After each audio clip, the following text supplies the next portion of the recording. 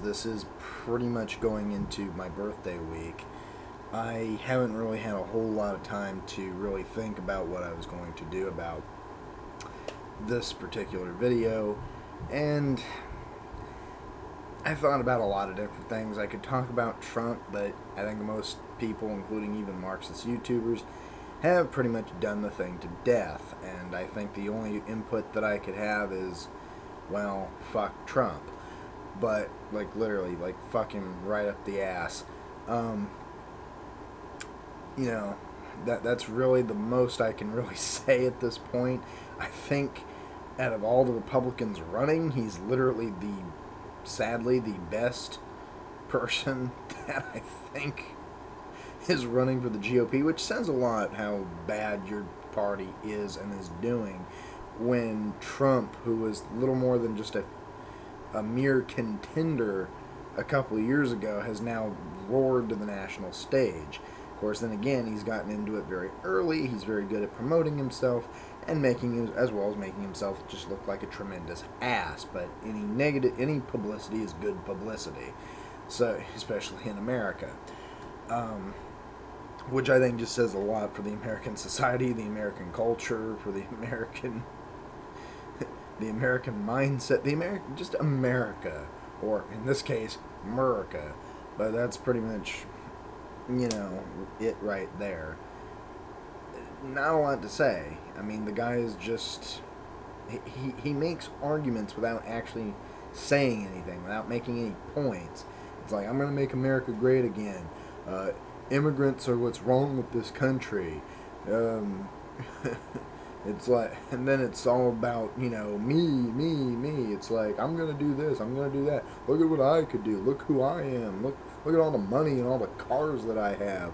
Look at the successful businesses that I have. Where I also went bankrupt about a couple of times in my life. And, yeah, have a immigrant wife as a, you know, that could be our first lady and still bitches about immigration. Anyway, just a whole bunch of points that I could bring up, but I, I think in two minutes that literally solves, that literally is everything I wanted to say about Trump. I mean, he literally, he really makes no arguments. He just promotes himself, shows off his blatant racism, and frankly, is just the the the GOP poster boy. He's he's he is really that the ideal poster boy for a party that is pretty much based on fascism. I mean, which is sad considering the party roots used to be so anti-establishment. They used to be very progressive and push through all these different reforms, but that's not how America runs anymore. And he also kind of goes in a little bit of that whole thing that um, uh, I forget what the character's name was, but Jack, uh, Jeff Daniels' character in um, uh, the newsroom often talked about how America is not the greatest country in the world anymore, but it can be.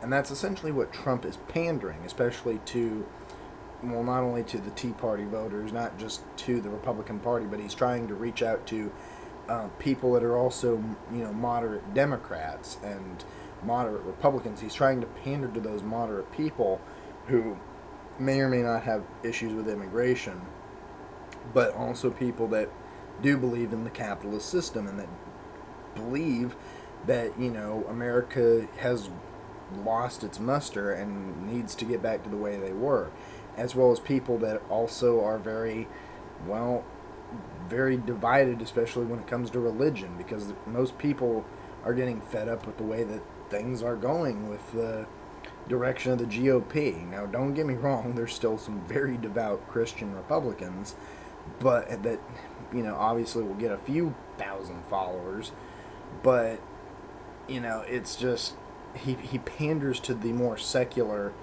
uh, areas of American society, especially to American conservatism. And, you know, it's you know, just pandering to those very libertarian and very moderate and even, you know, and very conservative, idealistic, you know, sorts of things that most people, you know, like. And I think he appeals to the general middle class, who, despite the fact that they are being represented by one of the most uh, most elitist bourgeois motherfuckers in all of the the world, frankly, it's really quite interesting how they will most likely, while so, that some of these, you know, people will vote against their own interests just because they happen to like this person's look. And speaking of people's looks, let's even look at Trump's looks. I mean, look at all these people that had the all these guys that um, these autocrats and dictators that you know came about in, through history because of their charisma, as well as not only that, but their speaking style and the way they came off as very debonair, very suave, very, you know, very well educated. I mean, the way that they spoke, and then the way that they, the, that they dressed. Adolf Hitler had this mustache. Um, Stal- uh, Joseph Stalin had the mustache, and and one of the you know and the appeal that people also have is the fact that Trump has the hair. He doesn't just wake up every day with the hair like that. He makes his hair that way because people make fun of it. They, you know, do all kinds of that. that that's basically his, you know, basically his idol. His um, that that's basically what what makes him known. I mean, it's the same thing if we look at even the royal family. Uh, Kate Middleton has, you know, she's very, you know, her hair, and the biggest and you know, uh, her sister Pippa has the ass.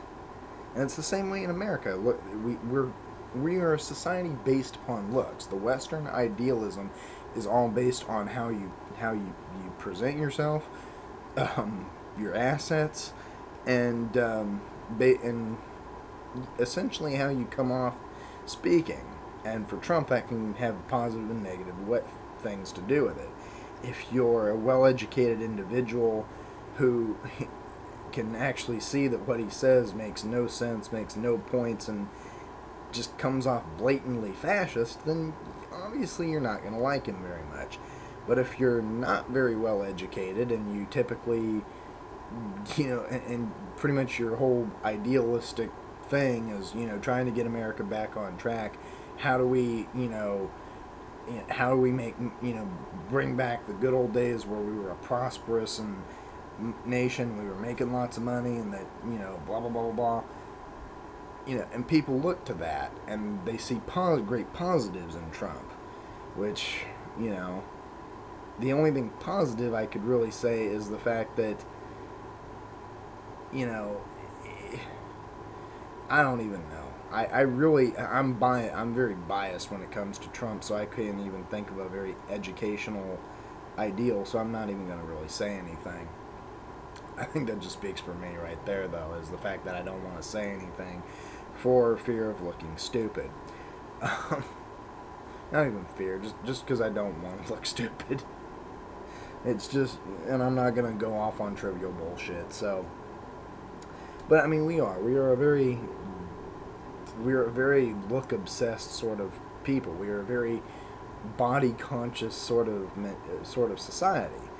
I mean, uh, when I mention the things about the looks, we can even apply that to even celebrity status like Kim Kardashian.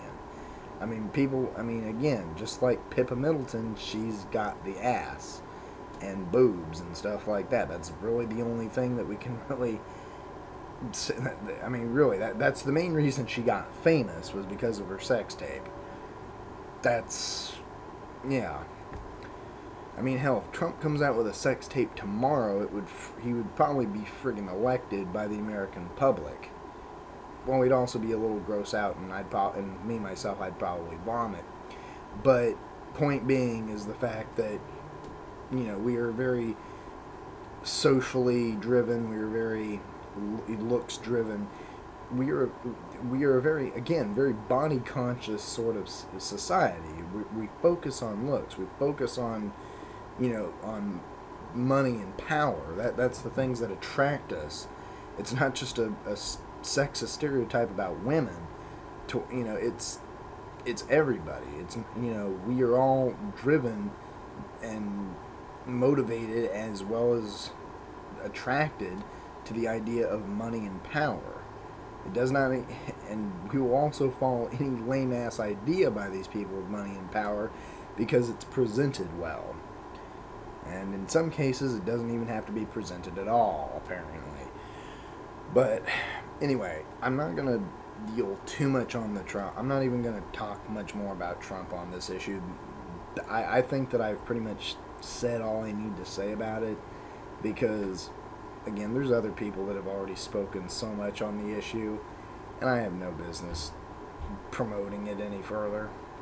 I really, to be honest, want to distance myself as much as I can from Trump as long as possible until I literally have to actually bring up issues and stuff like that. And as we head into to next year's uh, U.S. presidential election, I probably will a little bit more.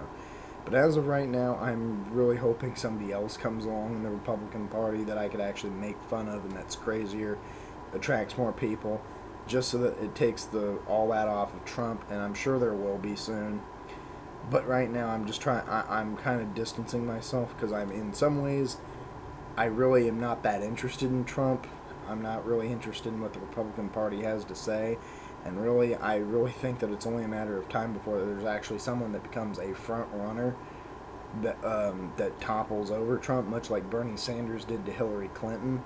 I'm really hoping that that comes along and that there's somebody crazier and stuff like that that it divides the the Republican thing, and that Trump has to run as like an independent candidate or something like that. I'm really I can still see that coming in some ways, and I really do hope it does, because uh, yeah, uh, just because I just I, I have this this feeling that this country is going to be divided one way or another. I think political ideologies, you know, even if you stand on the same political ideology, it'll be divided and I think at some point American right wingism is just going to implode on its own ineptitude and stupidity. So, at the same time, I also believe that the American society is politically divided anyway, and I think on both sides they're about ready to freaking implode. Um, for instance, the Democratic Party, I think, is, you know, finally seeing what we've seen from the Republicans over the last six to eight years in which the Republicans were literally divided between Tea Party and the moderates, and still even we see those, you know, the strains of try of them pulling apart. Donald Trump, for instance, and John Boehner are pretty much good examples. I think are primary examples of how you're trying to bring these figures in that are trying to keep the two part uh, sides of the ideology and the party connected and, and united.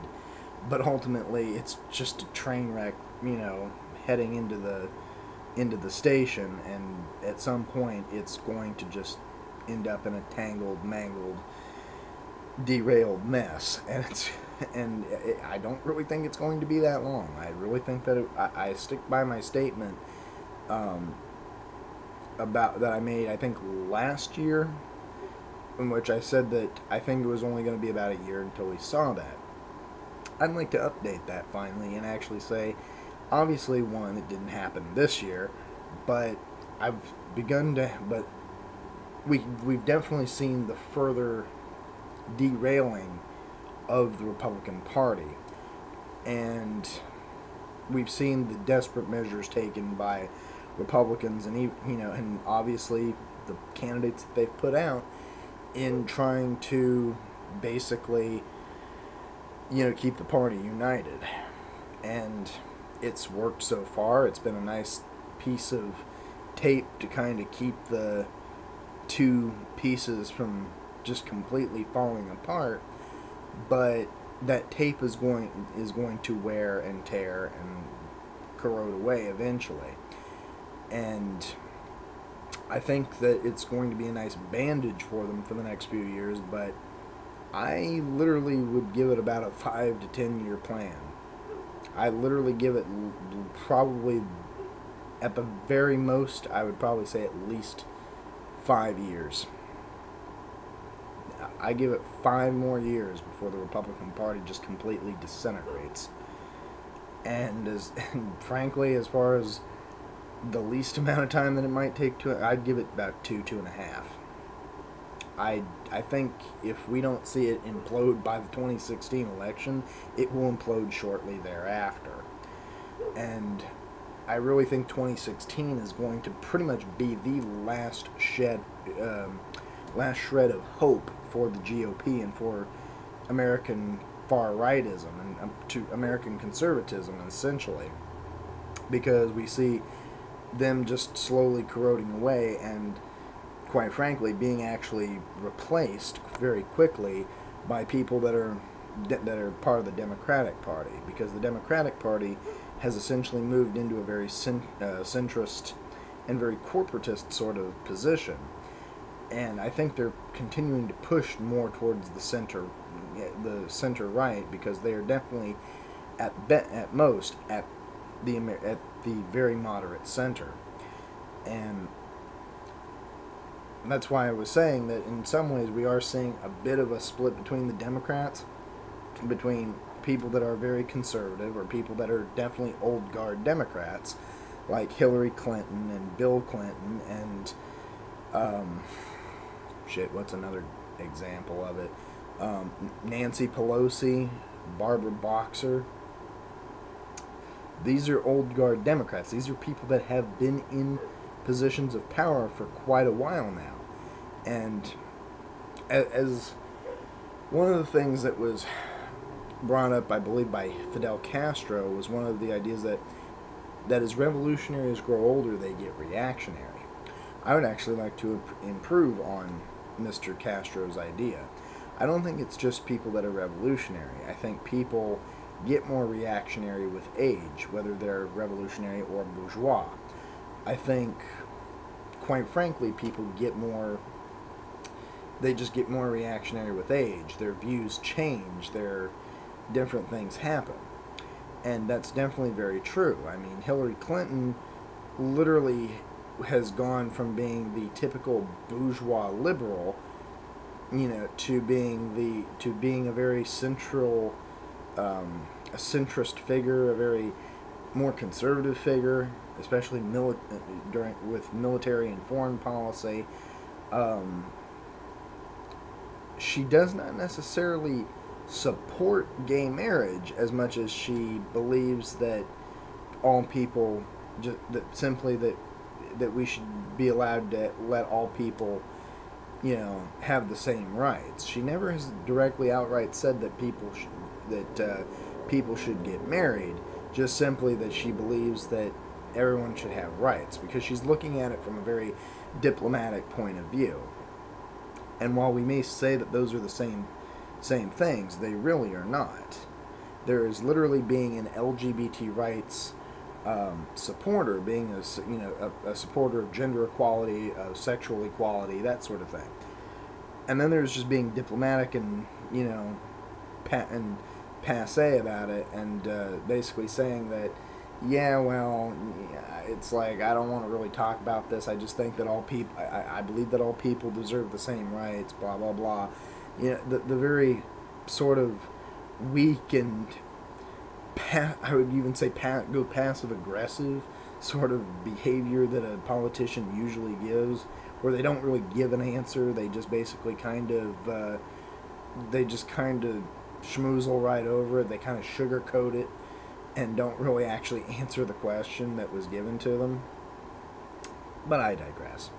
Point being is that there, there's many like her, and that's what I can. And those are many of the old guard Democrats, as well as very conservative Democrats who have been in there like since the 50s, the 60s. People that have been literally went in there when they were like in their 20s, their 30s, and are now quite literally in their like 70s and 80s, and still sit on the frick and still sit on the congressional floor and these people are people that have been there for so long that their views of you know are still relatively the same now as they were back then so that's why you see people that are in the democratic party that can be blatant who are blatantly as racist as the right-wing republicans they're you know it's it just becomes one of those things.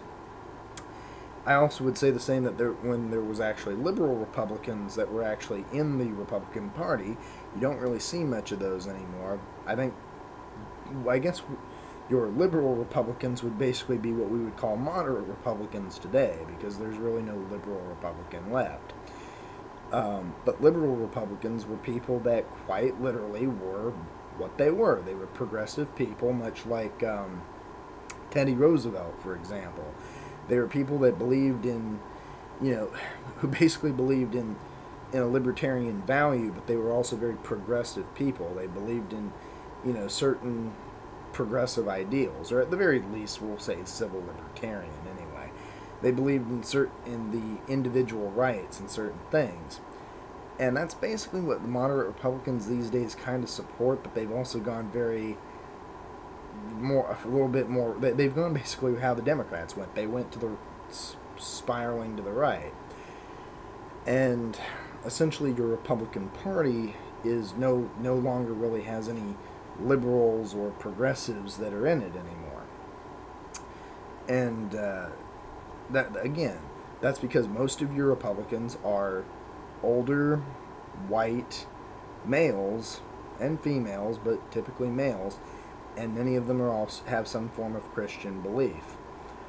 And there was a time when there was Republicans that were very progressive and did not necessarily that either believed in God and just you know were pretty, but you know usually kept some sort of dignity to their beliefs, and um, and then there were some that, that actually truly believed in. In fact, I think that was one thing about liberal Republicans back then is that they truly were a, into a belief we should remain a constitutionally secular nation because we are a constitutionally secular nation. And that's one of the things that they stuck by. And now it seems like no one in the Republican Party seems to understand what the Constitution stands for anymore. And I think that's because a lot of your members that were part of the old guard, like John McCain, uh, Newt Gingrich, you know, people like that, they've gotten older and as you get older, you get more reactionary. And that's exactly what's happened. You haven't phased out your old guard and replaced them for the with the new. Sure, there's some younger folks that are part of the Republican Party, but they're very little. They're very little. Very little of them is known. If they are very, some of them are, you know, more progressive and less, you know, Christian centric than their counterparts, but they're very lesser known. They they don't usually get any media coverage, and probably won't until they've become old and reactionary. That it's very sad to say, but there's that's why I say there's probably very little to none that are left in the Republican Party. Now the Democrats, we hear about them a lot, and the Democrats are typically known to be the typical liberal groups.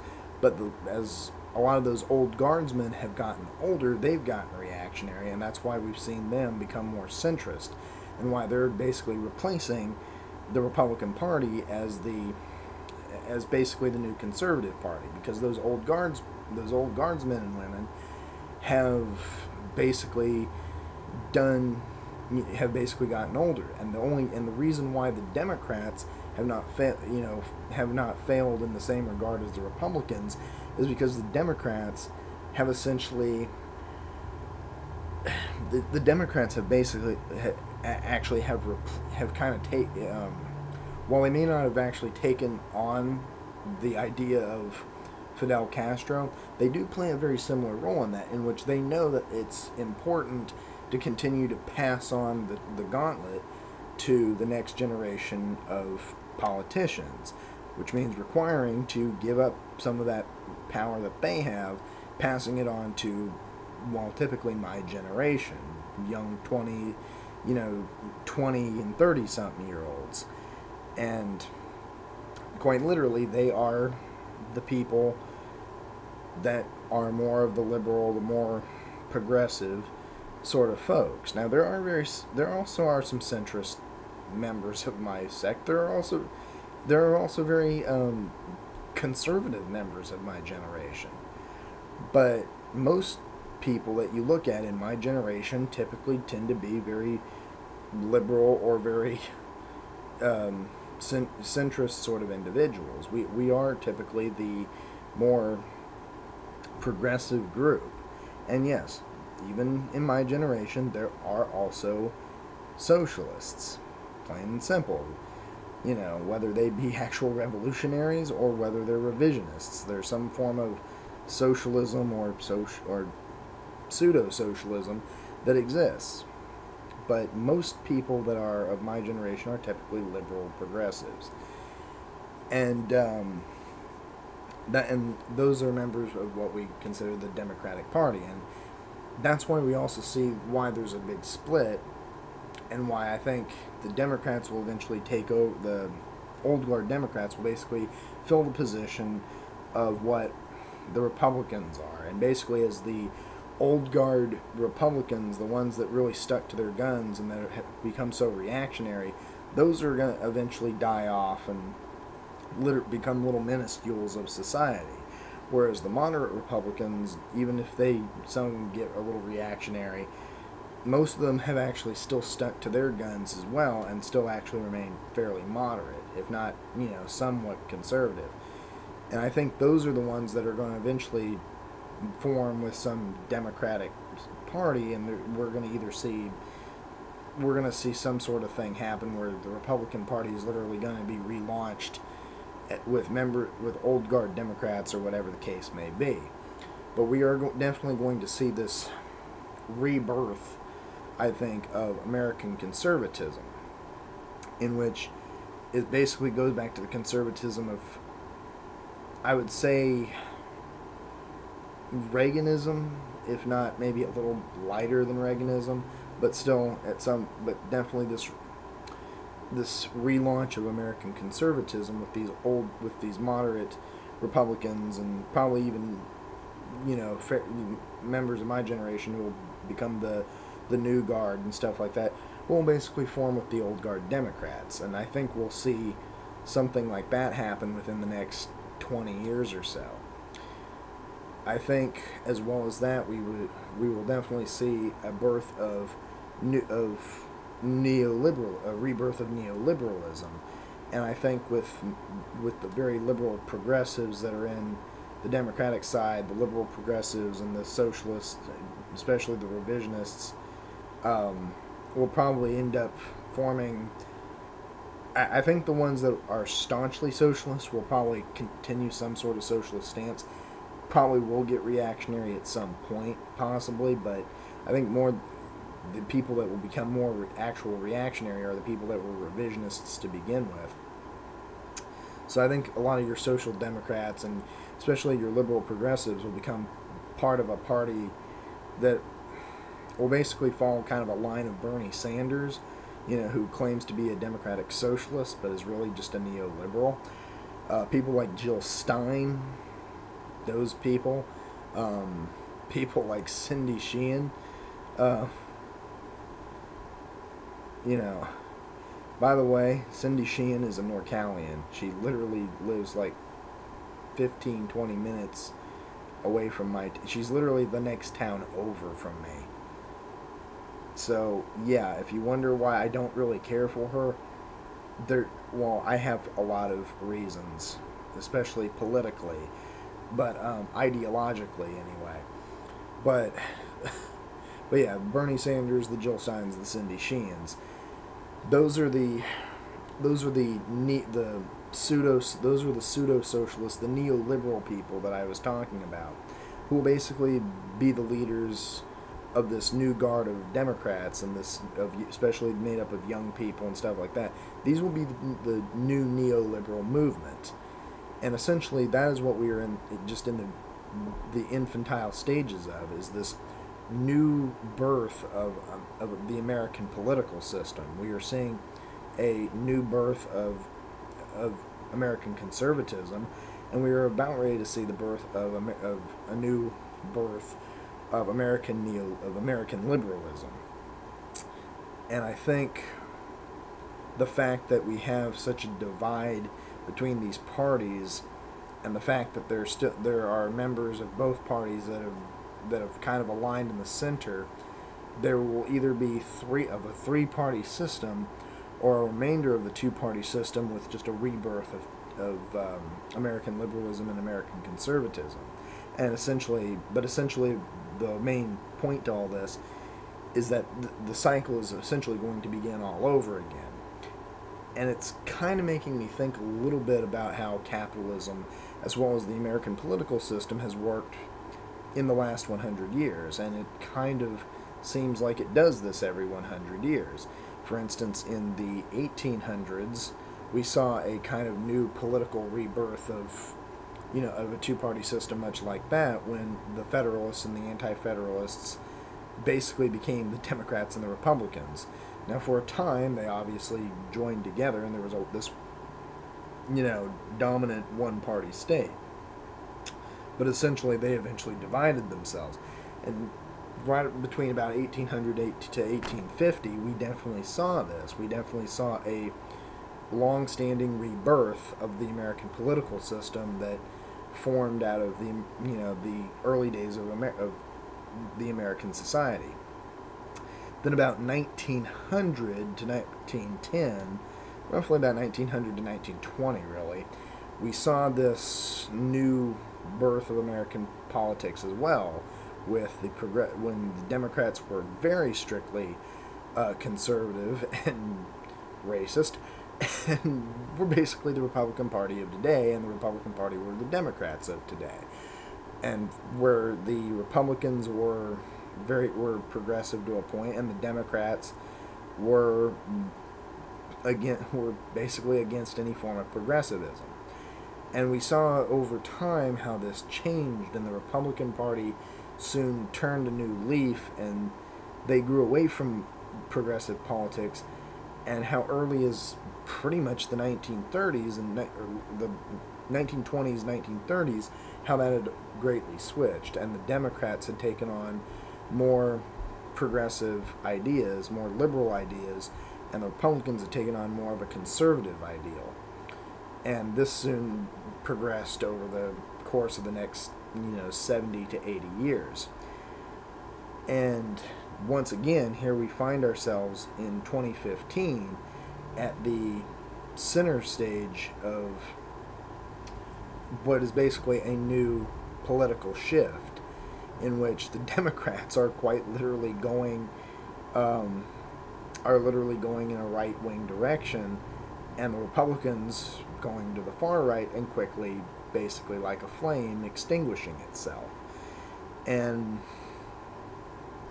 I, I, I kind of think that that is just much like how capitalism eventually burns itself out, has to basically be rescued by its own ineptitude, and tries to create things like, for instance, Bernie Sanders. Personally, I think is going if elected, and I personally think he can he can and will be elected. Will quite literally be the neoliberal, much like Teddy Roosevelt was, that's going to try to turn the American political system and the American will be the final nail in the American political system turning over and try and basically trying to turn the economic system of capitalism back over because he'll probably try to bring back antitrust laws, put a bandage on a big bandage on capitalism and basically stop the hemorrhaging for at least another, you know, 180 to 100 years. Does not mean that necessarily we're not going to have more recessions, possibly a depression at some point, but literally he will probably he will essentially try to save the American economic the, he will try to save capitalism in America. And he will most like and obviously is going to try to take on a very progressive stance. And that'll be fine for a time but what happens when we actually go back into a, a recession or what happens when we go into a depression? What happens a 100 years from now when we're faced with the same political and economic problems that we've been facing since the inception of the country. It's literally a never ending cycle, and that's what happens when you allow capitalism to continue running its course, and what happens when the American political system has become corroded. And it's one of those things where it's that's why it's important to emphasize the idea of continuing to turn things over to the next generation. That's how you keep your political system at least running on a, you know, casual course to the point, you know, where you don't have to continuously have to revamp it every 50 to 100 years. And your economic system, well, let's face it, capitalism continues to literally steamroll the crazy train through numbnutsville. It literally every certain amount of years is doomed to face a recession. It's doomed to face a depression. And it's eventually doomed to have to be bought out and uh, downsized by its own, pretty much by what it is, its own ego.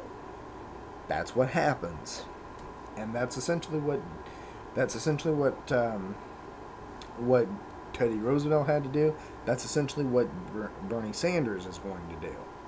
Of course, America could also go the other direction and elect Trump, in which we probably will go down the route of fascism much, in fact, if we elect Trump, I imagine it'll be much like, oh, kind of how Greece is going right now.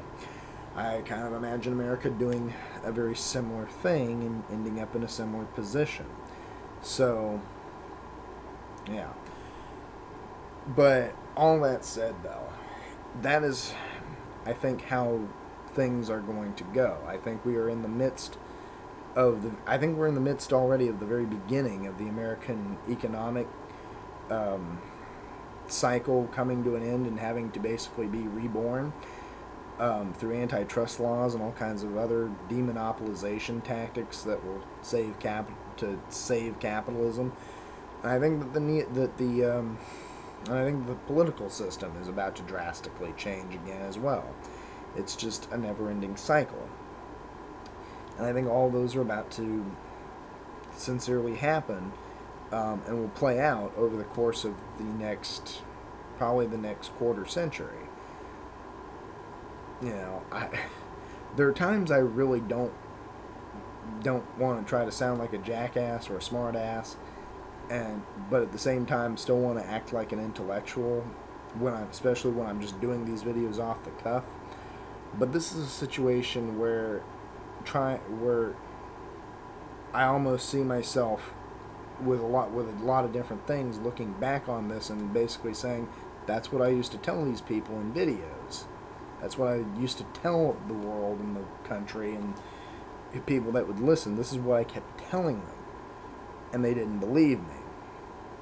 So it's one of those things where I don't necessarily like having to tell people I told them so, but I worry that there comes a day when I'm going to look back and be like, well, I hate to say I told you so, but yeah.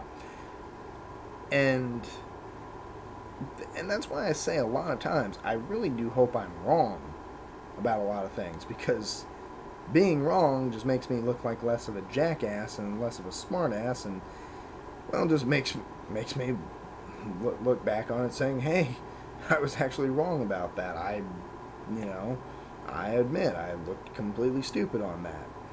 You know, I actually do look forward to the idea the to those days where I can actually wake up, you know, and say, "Hey, for once I actually was pretty stupid and retarded about that idea." And there probably will be, but when somebody like myself has such big premonitions about this and is educated on such the wide array of political knowledge and the economic basis that I have, it's kind of hard not to have a very intellectual and very keen sense on what could and might happen. And that's pretty, I mean, I have a ba- pretty fair basic knowledge about economics. I'm not going to say I'm a genius, and I'm not going by any means to say I'm an economist. I'm not going to say that I'm a fi- I should be anybody's financial advisor or investment banker. I'm not qualified for those, and I, there's a reason why I'm not qualified for those. I'm not technically qualified to, to lecture teach on politics, but I can do it on YouTube because there's no qualifications for that. but I, I am definitely educated enough that I know enough about political science that I've been doing, you know, I've basically been studying it since I was 15, 16 years old, which has pretty much been for the last eight to nine years now. And with, with as much knowledge that I have on those, it's allowed me to have a fair basic knowledge in economics. That's why I like to talk about things, I like to theorize, and when it comes to things that I actually know, I do like to teach people and lecture on certain things, much like I kind of have done all of those, I think, at once in this video. Um, but yeah, that's where I think America is headed. So, yeah. Now, I got about 20 minutes, I guess I could really speak on this because I didn't want to really talk very much on this, but I also figured I wasn't going to have that much time. I wasn't going to really have that much to talk about when it came down to it anyway. So I figured I'd throw it in this video. Um, I, I was talking with this person over Facebook a while back, about month, about a month, month and a half ago, and we got into this argument over Marxism, Marxism, Leninism, Marxism, Leninism, Maoism, over communism, basically, in which I was basically accused that I did not know what I was talking about, that I did not know what Marxism, Leninism, and all that sort of stuff was, that I didn't know what communism actually was. And that basically I was just just pulling shit and blowing shit out my ass and not actually really being knowledgeable on what I was talking about. The person that I was also talking to provided me links to to his to basically trying to bring credibility to his statements. This person ended up bringing up things like went to cite their sources such as Wikipedia and Reddit and their only real credible source that, that, that I finally got out of them was on Marxist.org. Now, while that's great to use, especially if you're talking about communism, for instance, that's one thing. But the fact that you're also so miscon that the person so horribly misconstrued what was being said is absolutely ridiculous. Now, one of the things that I also noted was the fact that this guy also said that Wikipedia was pretty accurate. When Wikipedia is a site, is a community site that's not paid for using corporate dollars and comes mainly out of the donations of people that are willing to keep it alive, pretty much, and is constantly on the attack from outside influence. Um, it's it's essentially a site that is does not have any real main editors. It has moderators, it has administrators. It does not, but pretty much the bulk of what is contributed to Wikipedia is the people. Anybody can edit Wikipedia. And most sites that I've got, most pages that I've gone to, including those made by communism, socialism, anarchism, anarcho capitalism, anarcho communism, anarcho whatever, you know, all these different things, none of them really have any filters or protections on them. In fact, most of them can be edited by just about any asshat or intellectual, give you know, on the internet. It can be it can be edited, it can be written, anything can be basically put on Wikipedia by just about anybody much like anything else on the internet. So that's why a lot of times your scholarly people, such as teachers for example, don't, as well as even scholarly students, and let's just be honest, it's not professional, to cite Wikipedia as your source. There are great resources sometimes within the Wikipedia documents that you can go to for further detail, check your credibility through, you know, and stuff like that. You, I mean, it, it's it, it helps when you back up a Wikipedia article with actually something that's a little more credible. So to say that Wikipedia is pretty accurate is really just an ignorant statement to say. As well as the fact that you then throw in Reddit, which, like, seriously, that's a source.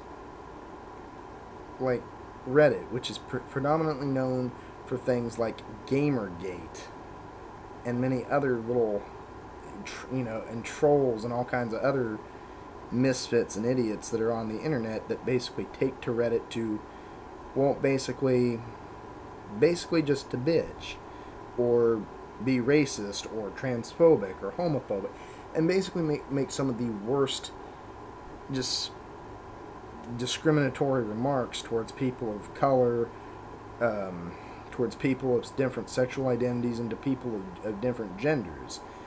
It literally, I mean, if that's really what you're what you're sort you're calling a credible source, then you have no credibility. And then the only source you actually cited was well, Marxist.org.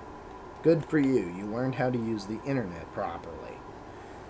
So basically, as I got to talking further with this person, he he came out and claimed that well, first of all, he claimed that he was an anarchist or an anarcho, and I believe an anarcho um, communist, and then finally said he was an agorist. Now, first of all, let me just say that basically what agorism is, or agorism, uh, I believe it's pronounced agorism, but anyway, um, essentially what this ideology is, is, is, is kind of akin to what people who are left-leaning libertarians typically tend to go by. They're, they typically try to claim that they're anarchists, try to claim that they're anarcho communists, and try to claim a bunch of different other things. Or it's like I, they, they try to claim that they're a libertarian, you know, libertarian left or a libertarian socialist or, you know, all these different things. Essentially, they're people that don't know what the fuck that they are. They're, they're very confused ideological individuals and typically, yes, don't know what the hell they're talking about. In fact, these can be any individuals claiming that they are freaking anarchists and communists and anarcho communists and anything in between there, to everything to a actual libertarian who just happens to espouse certain things and, and abhors uh, capitalism and different things and, you know, back and forth wishy washy bullshit. I mean, these are typical individuals that, you know, that do actually have the arrogance to start talking about communism and Marxism, implying what all these mean, and also completely forget what and claim but claim that like Lenin was a was this murderous monster that Mao somehow killed 300 million people and all the other bourgeois propaganda that comes along with that. Uh, and that Marx only got it part right, and that you know we need to espouse this sort of uh, line or leaning and blah blah blah. They're basically, and then they basically take horrible misconceptions that I equate to what the bourgeois propaganda machine spouts off, and they just talk along this these different lines and don't actually get to the point. They don't actually espouse what Marxism Leninism stands for because they themselves do not understand what it is. The Marxist leaning, what Marx himself wrote, is the key concept, the key ideas, and, well, the actual science of, well, Marxism. It is the, it is the key component that makes socialism. What is socialism? It is a belief system in transitioning from the capitalist and bourgeois state to one that is communist, one that is more agrarian, one that is, more e, uh, more egalitarian, one that is um, that is is the worker state, that where the people control the means of production, that wealth is divi- is divided evenly amongst the proletariat, and well, the only basic functions that a government really is around for is overseeing the the basic emergency services and different like national services that are needed for the, the welfare of the people. And essentially, that is what government is based on in a communist society. Basically, making sure that the people are people's needs are taken care of and are distributed evenly amongst the people. That you know, such things include again emergency services, uh, na- a national defense, blah blah blah. But essentially, the key functions, the political functions, the key functions of everything else fall to the people themselves. Local councils, for instance, and different things regarding that. Law and order, law and order, and um, the essential basics and everything that is, makes up what is, you know, what we have in normal communist or uh, normal capitalist societies, is basically that goes from the na- the national level down. Instead of trickling it down there and we actually start at the local level and it trickles back up to the national level. And if there's leftover national some and once it gets to the national level if there's surplus or whatever then we you know then wonderful that is a wonderful thing to have it is all part of that basic essential and socialism is the transition to that socialism is the transitional process in which we nationalize everything. We are getting it ready to turn to try to. We're basically trying to take the means of productions out of the hands of the out of the oppressor class and out of the hands of the person that basically is providing eh, slave uh, labor and slave wages for profit and for the production of you know and further development of the capitalist class and also for his own little monetary benefit. We take it out of the hands of the oppressor and we put it into the, we are working to put it into the hands of the working class. People that you know actually build countries that is what we are trying to do. So we, that's why we nationalize a lot of industries such as oil. We and you know the oil gas productions. We try to um, we try to take over control of different state functions. You know yes that includes media but at the same time, we also try to espouse press freedom.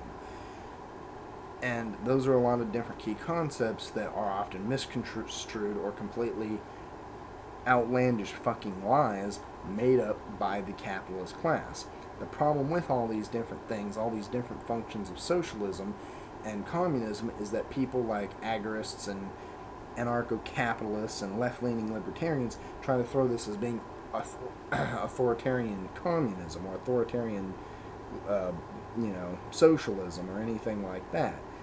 And essentially, they try to espouse how we have that the only thing revolutionary about them is that they try to espouse the idea that we have to offset the, you know, the bourgeois state. We have to fight back against the bourgeois state. They, they, they do imply armed revolution, but they also go out and go at it in a very also go about things in a very revisionist and very even reactionary way. And so they don't actually, the way that they believe in achieving the end goal of communism or anarchism or whatever the fuck it is that they actually advocate is, you know, does not act, you know, what things, the, the way they believe in getting there does not really fall under the under the revolutionary line, and essentially is a very skewed form of revolutionism at the very most. and so essentially, the one thing that I have a, big problem is that certain groups of these people, especially a person, this person in particular, who claimed to be an anarchist and an anarcho-communist, as well as then an agorist, basically then went on to claim that socialism was the same as Nazism. And I could go on a whole spiel about how that is fucking retarded, as given the fact that Nazism and socialism had no fucking connotations or comparisons. When you actually look at the concept of Nazism, which was racialist in nature, was, ba- was the only the actual wealth distribution, the only way of doing that was actually sent, was basically putting the means of production in the hands of the Aryan workers, the, eh, the white Pro- Anglo-Saxon Protestant workers the, of Germany and dividing the wealth amongst tho- that that particular class while denying the wealth or any sort of rights or privileges to anybody that was outside that. So essentially, you still had that you know this class-based system that still existed within Germany and within and essentially there is still that that exists within the whole entire process of Nazism itself. It is very it's misogynistic, it's anti-Semitic, it's racist. Everything about it is just completely completely wrong and has nothing to do with socialism. Not a damn thing. And I like how, how people like these ANCAPs and all these libertarians and these right wing conservatives and other groups like that like to twist this around and try to say, well, that's actually how socialism works. No, it's not how socialism works. In fact, again, I bring back the basic key concept about Marxist, uh, about the science of Marxism, and basically Hitler just despised Marxism. He hated it.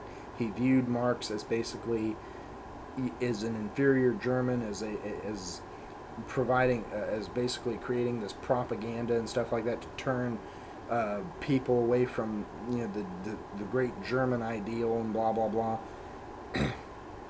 and essentially, because Marx did have Jewish heritage himself, he also believed that because of that, Marx was well basically inferior. And so, because of that, and given the whole fact that you know he believed that communism was a Jewish conspiracy, he essentially he, he essentially hated Marx. He hated the idea of Marxism, and he hated communism. And if you're hating all of that, which is all part of the point of from getting from capitalism from getting from capitalism to communism would be socialism and Marxist science. It you know to basically say that that that Marx's uh, that that Marxism is is a Jewish conspiracy that it's um, th- that Mar- that Marx was inferior that you know he, he basically renounced anything that Marx said. Basically renouncing and despising Marxism the key element of what creates socialism and thus eventually communism yeah it kind of makes you anti especially given that he was an an, an ardent anti-communist it also meant that he was a huge anti-socialist and the fact that he rounded up people that were part of, you know, communist groups and socialist groups and, and eventually imprisoned people of labor unions, yes, he was a rampant fucking anti socialist and anti communist and an anti Marxist. So, yeah. And again, the whole idea that he was that somehow that that that all has to tie in with with Nazism. Yeah, sure. Okay.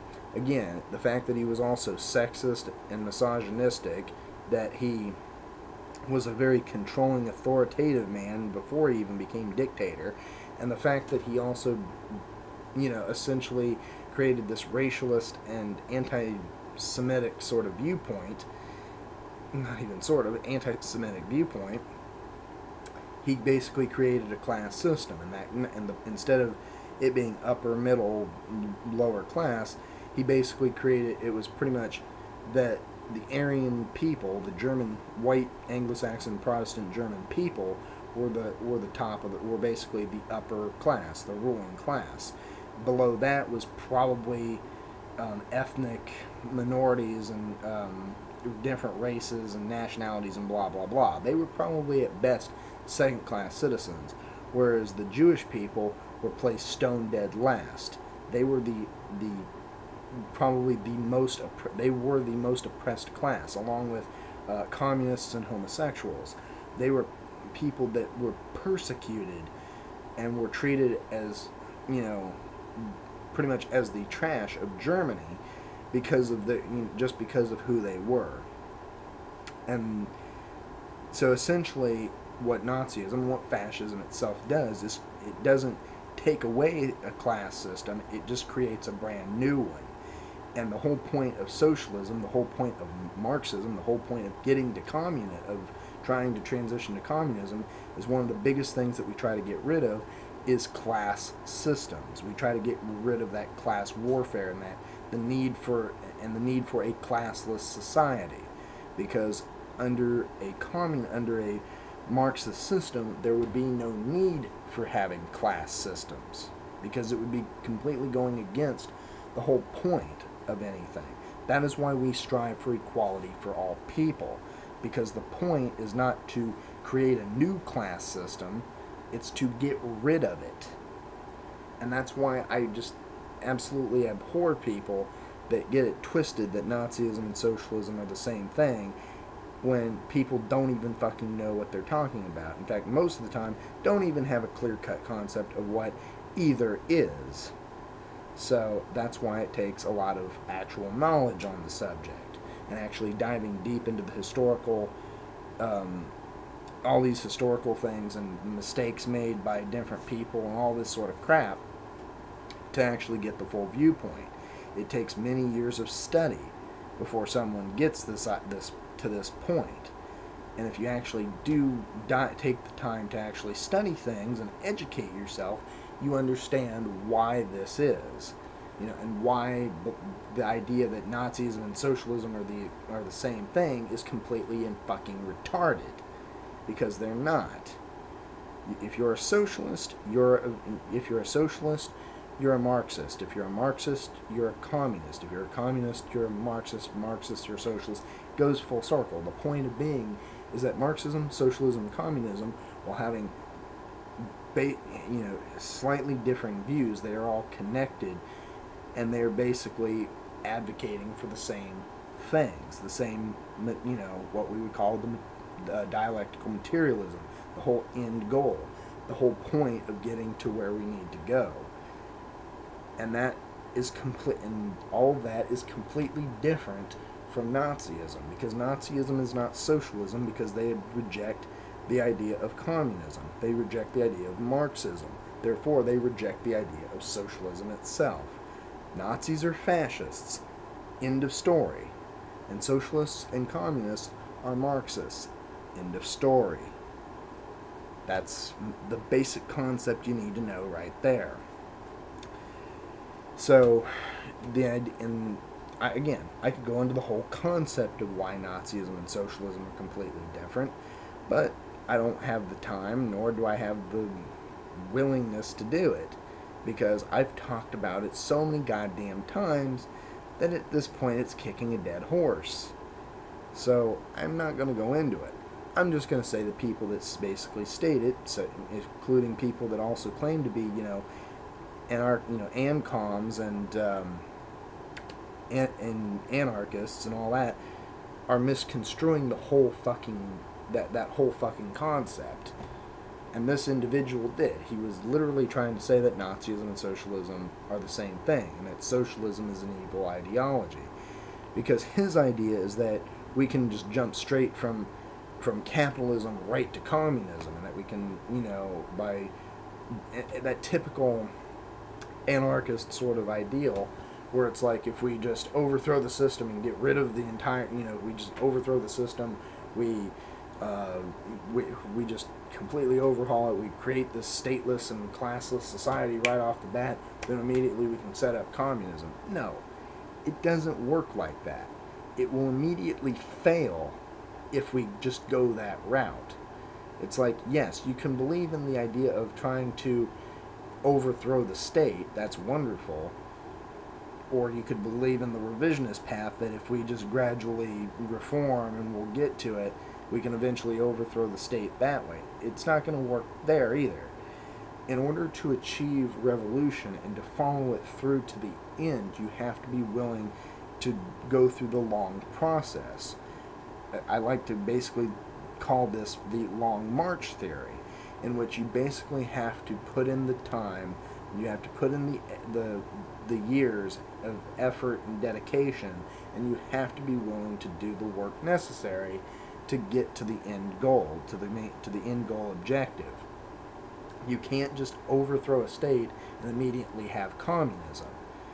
you know, it's that whole ideal that anar- that that really gets me about ancoms and an and anarchists and left-leaning libertarians that we can just suddenly achieve this this thing out of thin air.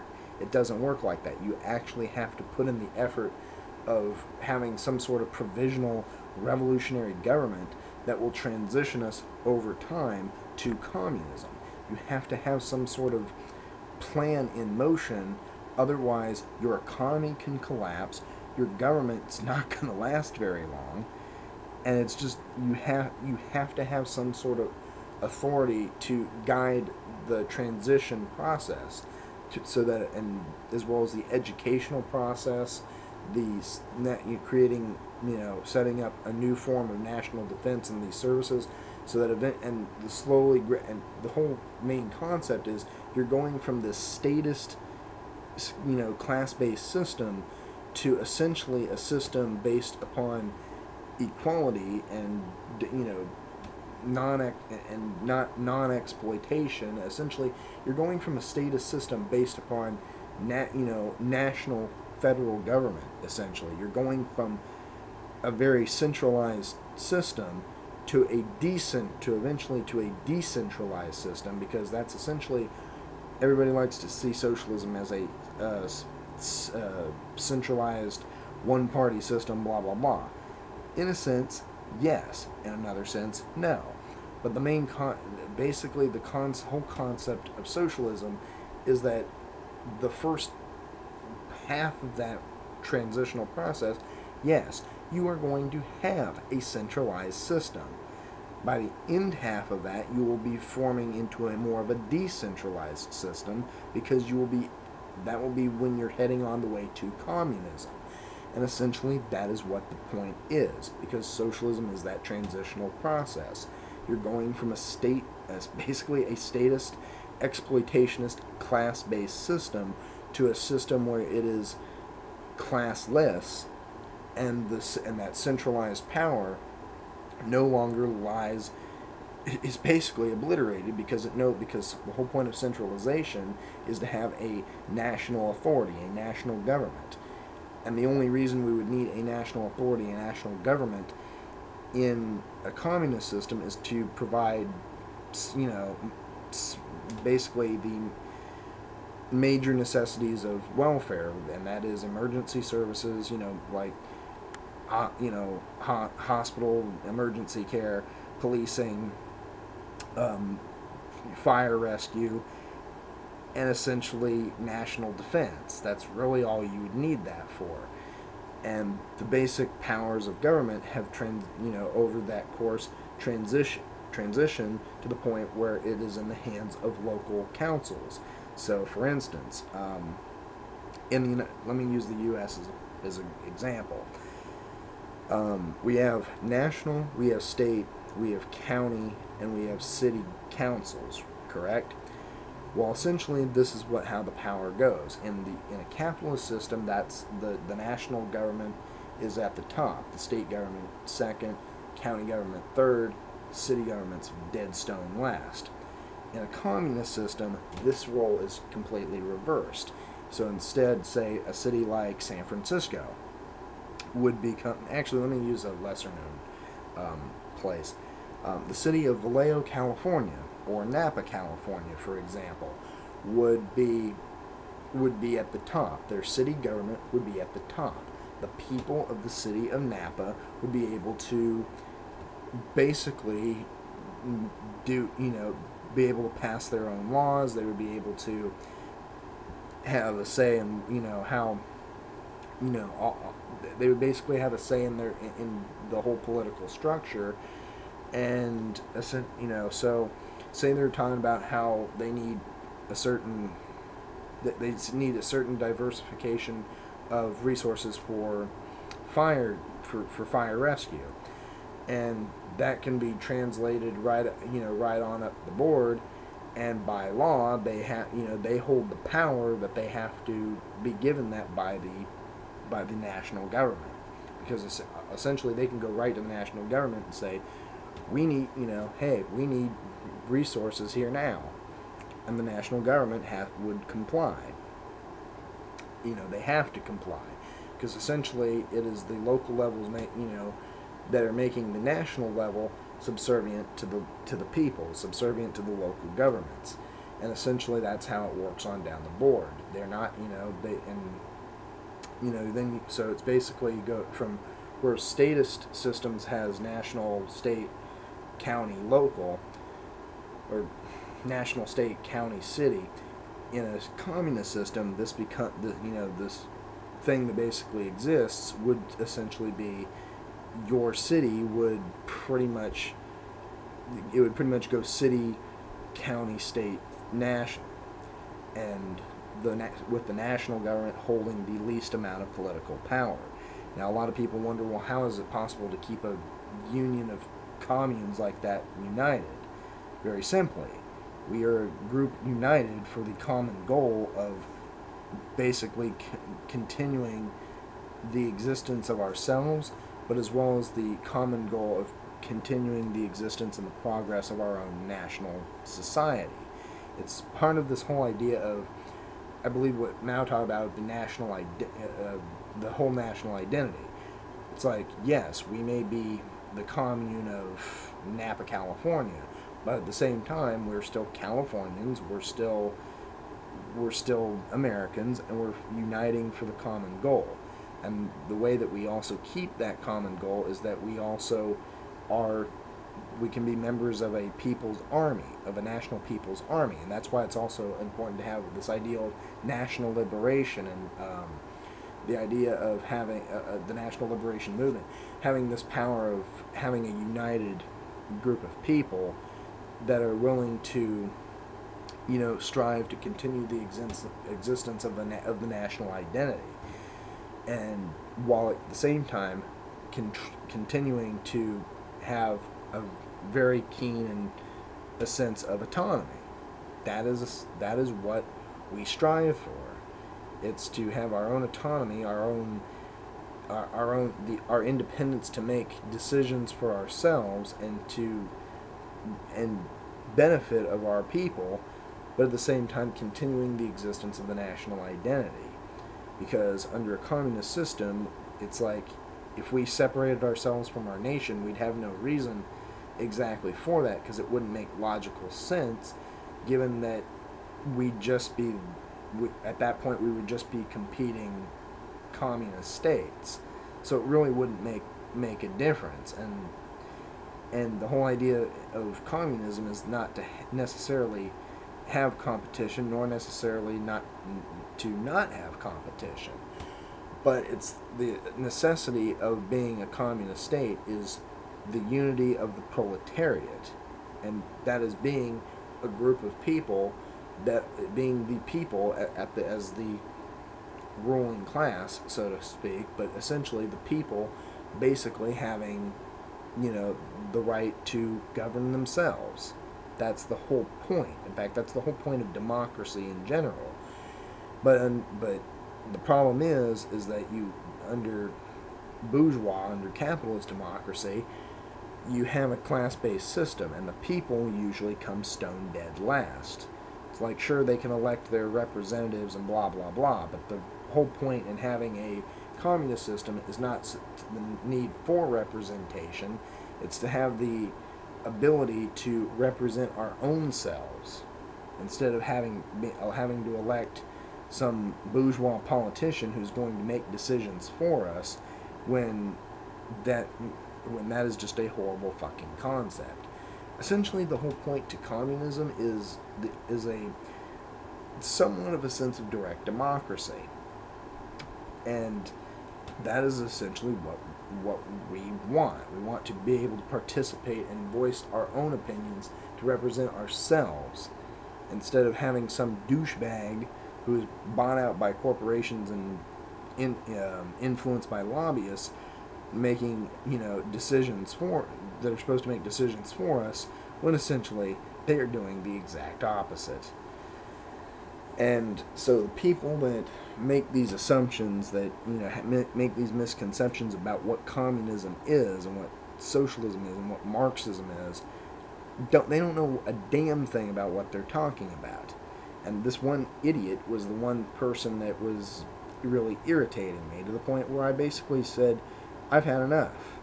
I literally stopped the conversation. One, because he really didn't know what he was talking about, and two, he was not providing me the adequate sources that I was asking for. One of the biggest things that he kept doing was providing me Wikipedia and Reddit articles, and that really shows a complete lack of credibility. And let me just kind of explain something here. I've basically gone into what the essential thing about communism, socialism is, but let me just read the Googled uh, definition of it and the essential textbook definition of it. In political and social sciences, communism uh, is a social, political, and economic ideology and movement whose ultimate goal is the establishment of the communist society, which is a socio-economic order structured upon the common ownership of the means of production. Socialism is a social and economic system characterized by social ownership of the means of production and cooperative management of the economy, as well as a political theory and movement that aims at the establishment of such system. Anarcho-communism, um, also known as anarcho-communism, or anarchist communism, also known as anarcho communism, free communism, libertarian communism, and communist anarchism, is a theory of anarchism which advocates the abolition of state, capitalism, wages, and private property while retaining respect for personal property and in favor of common ownership. And therein lies one of the biggest things that I've basically talked about just a little while ago. They believe in getting rid of the stateless, the stateless. Uh, classless society, but then base their whole uh, ideal on creating a the abolition. They want to get rid of the state. They want to get rid of capitalism, wages, private property, but still want to be in favor of. Uh, uh, um, and they they claim common ownership, but at the same time they basically, I believe in the respect for personal property and the ideal of creating which basically the idea of re- retaining respect for private property. So you believe in social ownership. You believe in, you know, common, you know, you believe in the common ownership, but you believe in the ideal of continuing on the uh, private property. Well, then essentially, the, then you're not advocating complete radicalization. You're not talking about getting rid. Of, you're still talking about ha- about some people having higher having higher privileges and having um, ha- having certain things that others do not, and that's not the point. The point is that we all have the basic needs, all have the basic essentials. We all have the the, the same means of getting by as our neighbor and as our you know and as our friend and our, as our mom and our dad and our sister and our brother and blah blah blah that is the whole point the point of communism is not to have private property. It's to have the because private property also implies that you have private means of ownership, which is already a which most forms of capitalism still that most forms of capitalism have. Private ownership means that the ownership is not entirely in the hands of the prolet is not entirely in the hands of the worker you know, you can technically be a worker and have private ownership, but the point being is that the working class as a whole, the people, you know, working for the mean that have own the means of production, are, you know, basically pay themselves the you know all an equal wage. If they have an equal share, they pay. They're all given an equal wage depending on their contribution to society. But private ownership implies that you're keeping certain things for yourself. And that is that is bourgeois and reactionary in essence. So that is why I strongly disagree with anarcho communism because they still maintain certain aspects of libertarianism. Anarchism is a political philosophy that advocates stateless societies, often defined as self governed voluntary institutions, but that several authors have defined as more specific institutions based on non hierarchical free associations. Anarchism holds the state to be undesirable, unnecessary, or harmful. And in most cases, this is actually true. But at the same time, an, um, anarchists also typically tend to hold and favor certain libertarian ideologies as well, given the fact that they like to that they, again, they basically want to get rid of the stateless, classless society, but um, but essentially want to form uh, institutions and stuff like that. They don't necessarily want to get necessarily transition the the right of having uh, uh, of basically getting rid of the the means of ownership to the hands of the, the working class. There are some that definitely advocate that. There are some that do not. It's a very wiggle worm sort of thing. But they don't necessarily. But their ideology does not necessarily state that they want to get you know get rid of the means of private ownership. They just mean that they don't want not they want non-hierarchical structures. For instance, I would kind of like to bring in the idea of the Valve Corporation, for example, that there is no one that's high that's that's higher up, no one's that's lower down. It's basically all a group of team members, and there's just one person that basically guides the process of these different little mods and games and different things that guide it along. And essentially, they basically are all paid a similar wage.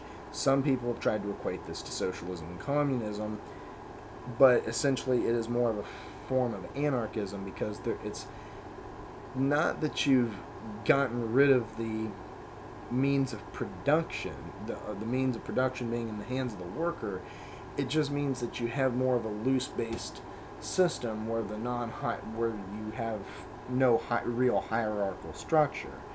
It's essentially where you are more of a you're a collective. I, Anonymous is another good example, but you are basically a collective, and your people are paid basically the same. You're basically paid the same wage as you you know based upon your contribution and stuff like that. But the means of production is still in, in the hands, uh, is still in the hands of, of one or a couple me, uh, individuals, but not in the hands of the complete, the complete proletariat. In this case, Valve exercises the right under under a person who uh, one this one person who controls the means of production, but he does not have a higher standing, uh, you know, as far as things go, and it basically allows a, a, what I would call a free association of his workers. So they are basically a collective of people, but this one particular person does control the means of production. So that is essentially what kind of anarchy is in some ways. It's kind of hard to explain, but that is essentially one of the biggest problems of it. They're not necessarily trying to get rid of the means of production being from going from the hands of a of a, um, of of a higher of one particular person to the working class, but they do advocate a non-hierarchical structure. So again, not socialism. There are anarchists that can be advocate forms of socialism, and obviously you could go into a whole ideal about anarcho-socialism as well. And yeah, you put anar you put anarcho in front of anything, you can get anything out of it but essentially, um, yes, that it does not necessarily mean that you're trying to get rid of it. It just means that the anarchism just holds that the state is undesirable, unnecessary, and harmful. Essentially, the point that they're trying to make is that the state basically gets involved and tries to regulate what they would like to better do. So that's why I find it funny when libertarians, especially, try to call themselves anarchists when because simply they just are tired of government telling them what to do and you know having these regulations and stuff like that. It's like it's basically like saying oh yeah we'd like to go out and murder rape and torture but the government tells us we can't. That's essentially what libertarians do and that's i don't want to sound crude but that's kind of how some anarchists come off to me. I'm not saying that's how all anarchists are, but that's how some people have come off to me in the past. Now, agorism was the one thing that I did not know much about, but I have come across a lot of other people. What was funny is that when I typed in um, agorism, one of the things that came up was egoism. But agorism is basically the libertarian social philosophy that advocates creating a society in which all relations between people are voluntary exchanges by means of counter economics, thus engaging in a manner with aspects of a peaceful revolution. These are people that are typically reformists, revisionists, that sort of thing. They're also people that I would compare with with voluntarism. And these are typically people that are that claim to be anarchists, sometimes will claim to be anarcho-communists or even libertarian socialists, but they advocate means of peaceful revolution. Now, this guy did not necessarily advocate peaceful revolution, but he implied a form of revolution, but was also very revisionist about it. And he basically said that we should get rid of the government, but we should also basically leave certain people in that were part of that government in power, so that we can basically tra- reform and create a new system out of it.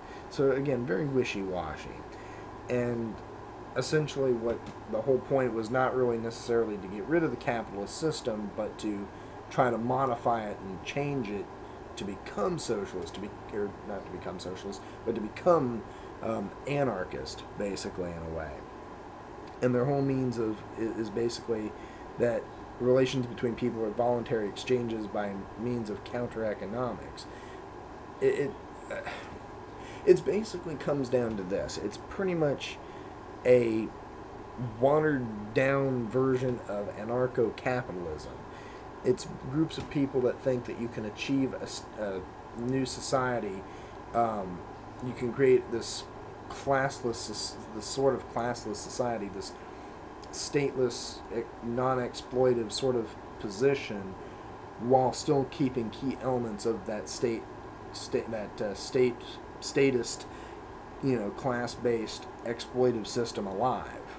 So it's not it's not even full revolution. It's not even it's it's not full revolution and it's not full revisionist, but it's definitely it's definitely counter-revolutionary. It's definitely reactionary. And the whole key concept of, of people like this is just so flawed. And I've talked before about how um, ANCAPs typically believe in trying to get rid of the state, getting rid of the getting rid of the stateless, classless society, but keeping the economic system of statism and class around, and it just it doesn't. It, it wouldn't. It wouldn't. It can't work. It wouldn't work. It never has worked. That's the problem. And the problem with I have found with particularly with because I have come across a person before before before I was ever involved in talking with this person, who had some of these viewpoints as well. You know, this jerk off. And the problem is, is that they are they're educated in some fields, but they're very poorly. They, they have very poorly misconstrued views. They're very corrupted by bourgeois propaganda, and they're very. They're they're arrogant and ignorant. And they're arrogant in a lot of other places, and they're very ignorant in, in a lot of places concerning how to do revolution, how to get rid of, uh, how to get away from how things are under our current capitalist system. And it's it, these people can co- literally cause aneurysms for people that aren't immediately prepared to deal with them or don't have the means to deal with them. And these are people that I really have the, have had the greatest displeasure of having to talk to because even after you've debunked everything that they've said, even if you can provide them with evidence to support your claims, they typically tend to be very well. They, continue to to deny everything and, conti- and in the case in in the case of this one individual, providing, you know, just providing s- sources that are just not credible.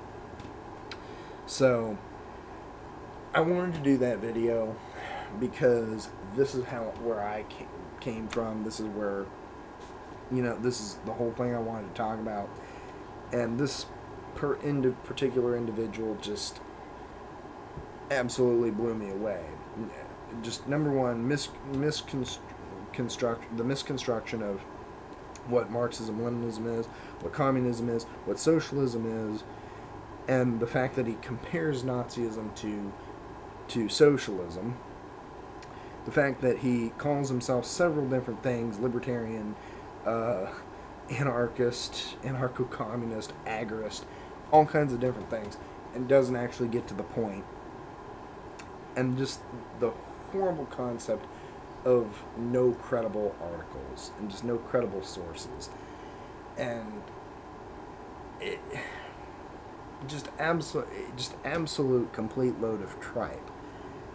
The, the backwardsness and the half-assness and all the thing the craziness about how these particular individuals think comes down to the one main thing they don't know what they're talking about, and they are very they're uneducated and not uneducated. That's the wrong word. They're they're ill they're ill knowledged, they're ignorant, and they're arrogant. Let's put it that way. They're individuals that are also very confused because they don't know where in the political sphere they actually stand. They're basically people that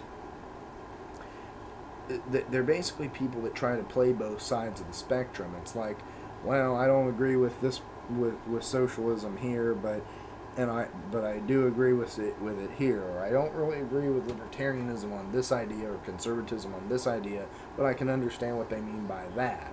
They're people that try basically that they basically like to teeter on the fence, the white picket fence, so to speak, and don't know which way they want to fall.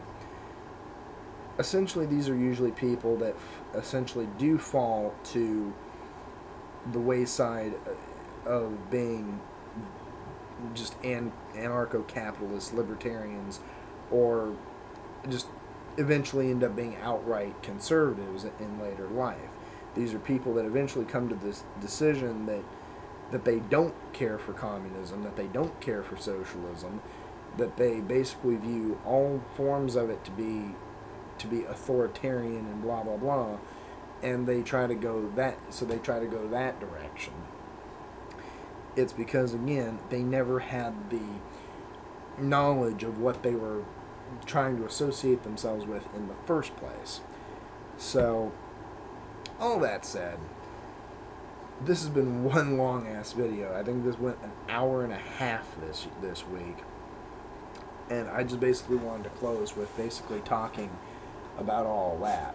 And this turned into a really long video. But if you've stayed this long, hopefully you've got some, you know, you heard me bitch about certain things. You got maybe some lectures out of certain things. But overall, this was, I think this was a pretty good video. I mean, it's not like I talked about too many things. It's not like I talked too little about too many, about too many things. And I think I like sometimes doing this. And it's also at the same time, I'm not focusing on one subject for too long.